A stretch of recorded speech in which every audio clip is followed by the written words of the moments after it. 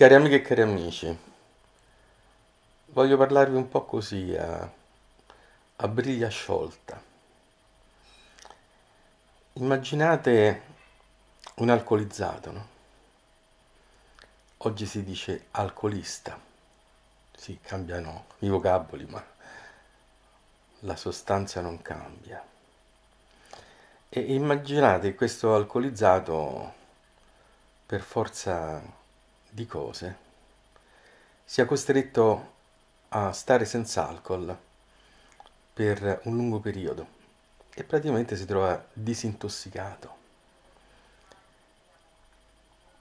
Perché era diventato alcolizzato? Perché aveva scelto l'alcol come soluzione dei suoi problemi. Ora, se questa persona, una volta eh, uscita da questa condizione di assenza di alcol ritornasse a bere? Domanda retorica.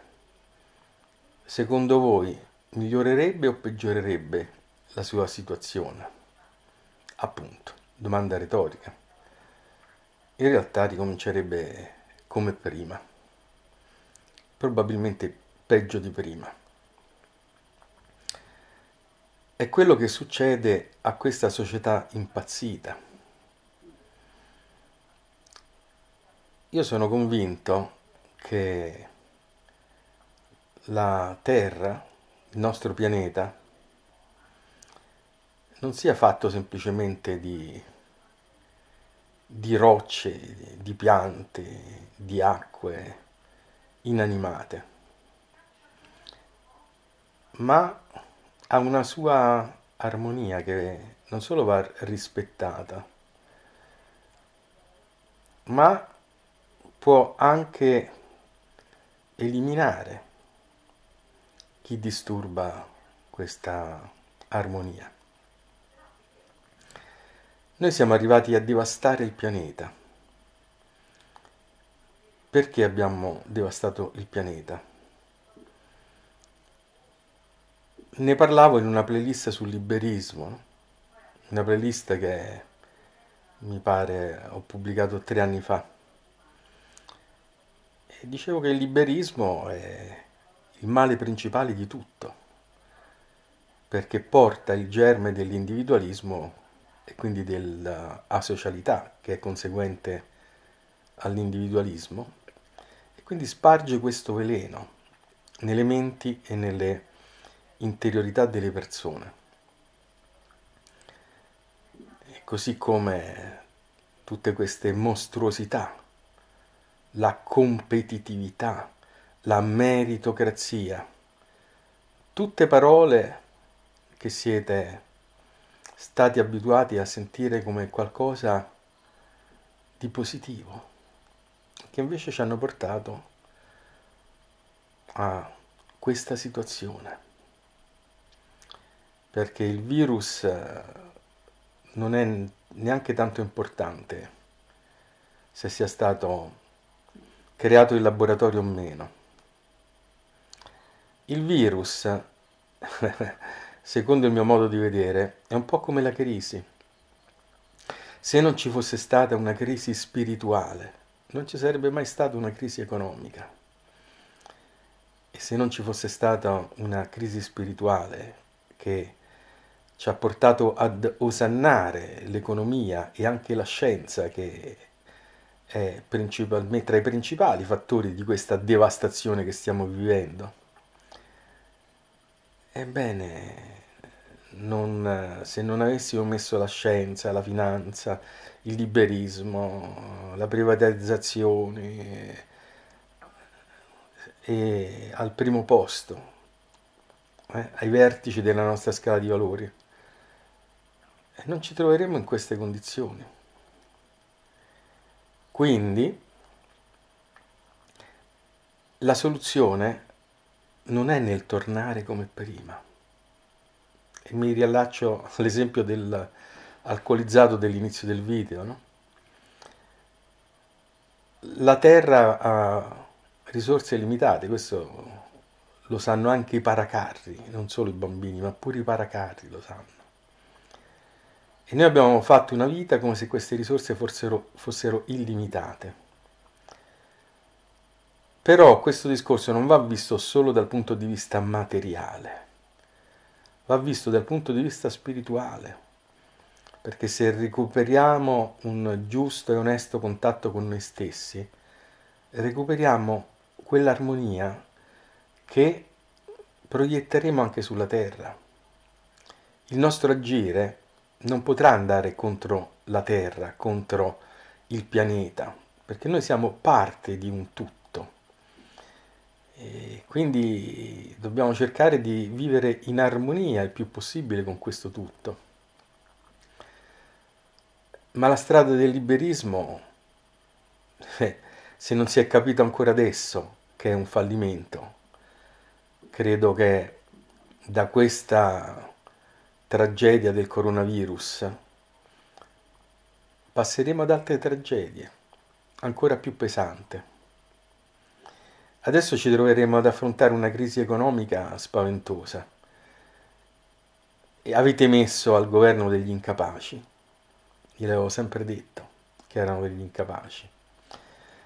L'assurdità dei discorsi non vogliamo politici di professione, come se la politica potesse fare un passante qualsiasi, no? Grillo che diceva sì, ma la politica la deve fare uno come me, uno come te, no. È come dire un ponte non vogliamo che lo costruisca un ingegnere, un'operazione chirurgica non vogliamo de, de, che gente laureata in medicina, non ci interessa, vogliamo degli appassionati della materia. È la follia, ma era una follia dall'inizio, tutto in streaming eh sì, io lo, lo dicevo da, da, sempre, chi segue il mio canale, ma vi fate, voi fate sapere ai vostri avversari le intenzioni politiche che avete. Non può funzionare una cosa del genere. E così era tutta un'assurdità. Ma non l'avete saputo vedere.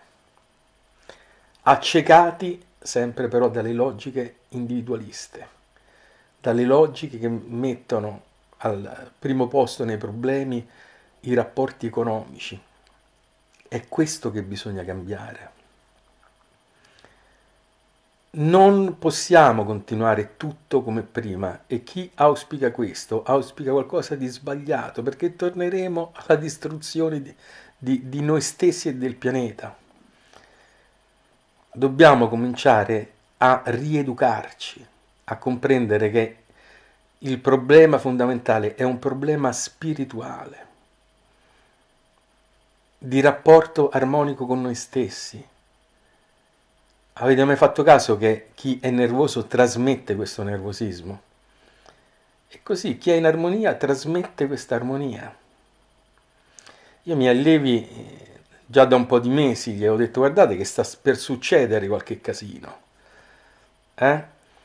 Perché? Perché c'è tensione mondiale e tutta questa tensione è come in cielo così in terra, come, come in alto così in basso, macrocosmo, microcosmo, non è che noi siamo estranei al pianeta.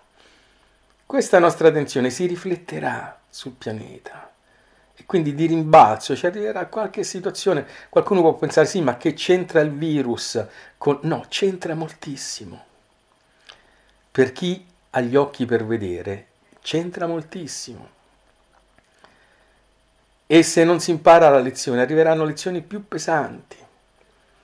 E allora basta, Noi, eh, l'economia fino adesso ha agito come se la Terra fosse piatta e infinita, no, la Terra è una sfera, con risorse limitate, dove un'espansione continua dal punto di vista del mercato non è possibile, perché è una sfera finita, non è una pianura infinita.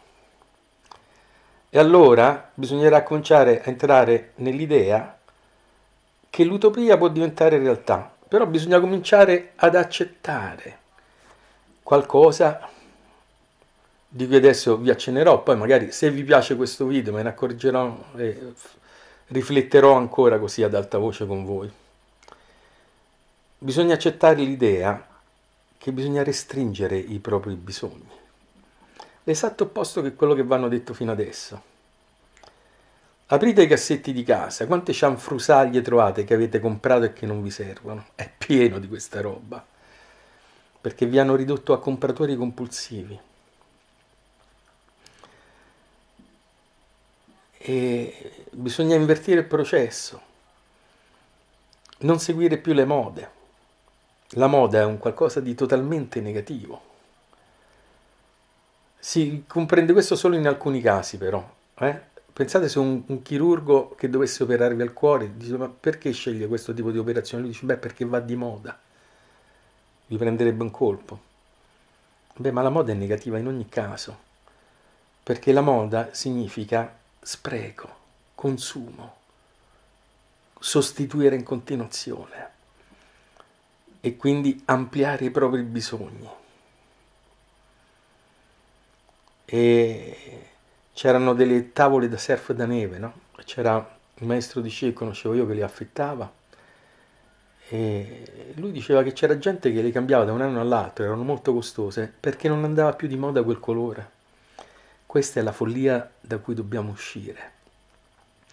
Bisogna cominciare a restringere i nostri bisogni. Uno dice, eh sì, ma così il mercato poi eh, l'economia poi, eh, bisogna entrare in un'altra logica. non, bisogna, non, ci vuole più il mercato al primo posto.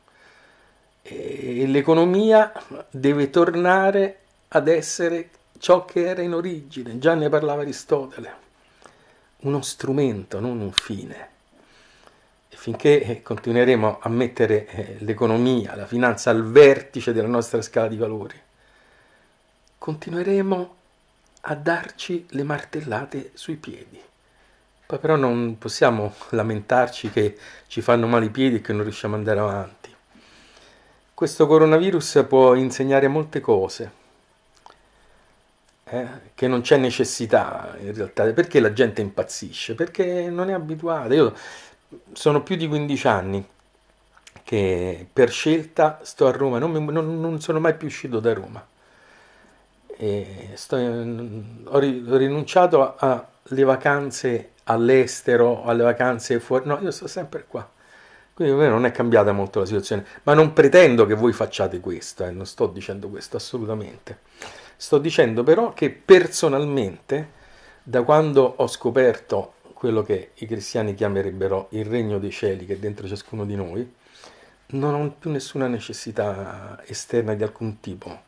Eh, ossia, ho quelle necessità che a mio parere ho già in abbondanza, cioè io ogni giorno che mi alzo ringrazio il cielo perché non ho dormito all'addiaccio, perché ho un posto dove dormire, ho una casetta della giusta misura, non è né un buco né eh, una reggia, quanto basta. E quindi dobbiamo riscoprire la giusta misura dobbiamo riscoprire il quanto basta, dobbiamo cominciare a smetterla di essere compratori compulsivi, dobbiamo cominciare a smetterla di dare valore a, a, a, ai soldi come se fossero anche questi un fine, non uno strumento. E eh, per riscoprire tutto questo ci vuole introspezione, spiritualità. L'Occidente da troppo tempo sta andando avanti. Già, pensate, Pascal lo diceva nel 600. Diceva il problema che abbiamo oggi è che nessuno sa stare più un'ora in silenzio nella sua stanza. lo diceva nel 600, nel XVII secolo. Pensate se si trovasse a vivere questa follia di oggi. Quindi restringere gradualmente i propri bisogni, riscoprire le relazioni umane la grandezza delle relazioni umane, anche della famiglia, dei figli, eh?